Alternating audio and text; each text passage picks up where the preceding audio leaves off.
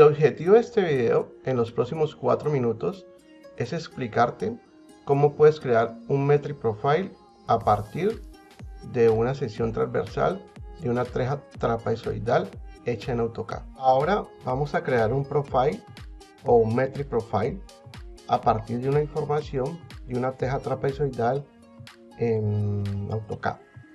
Vamos a File, le decimos New, Family,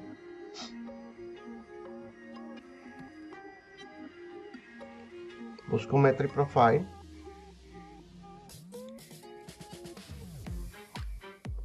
y estando acá pongo unidades en metros ya que el perfil lo dibujé en AutoCAD en metros.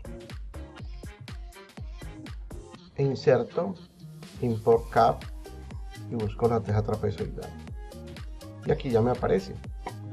Ahora a partir de esta información que tengo acá voy a, a calcarla create line pip line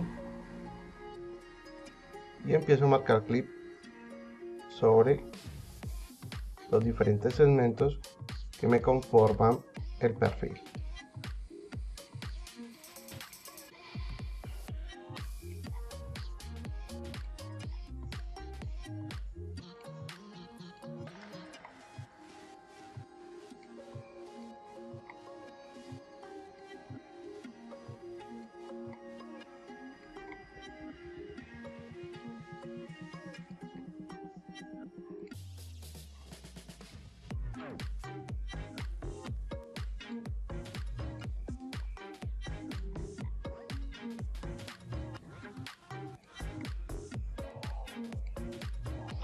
Cometí un error, la repinté. Create line.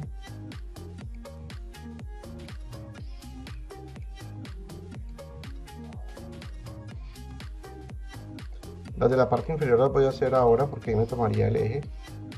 Y no me interesa el eje, me interesa es las partes planas o los valles de la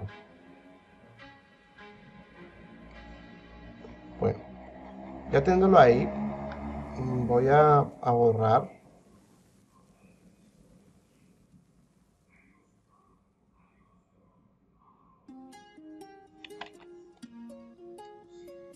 Voy a decirle filter y quito las líneas y le doy suprimir para que me borre el AutoCAD que importé.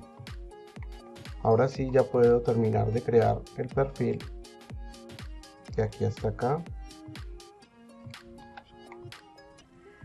De aquí hasta acá. De aquí hasta acá.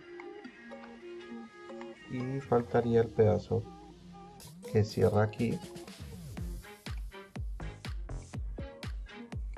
Y el pedazo que cierra acá.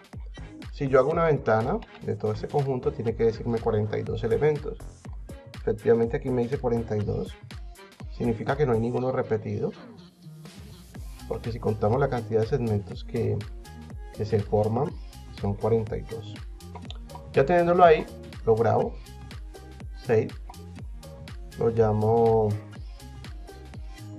teja teja trapezoidal 360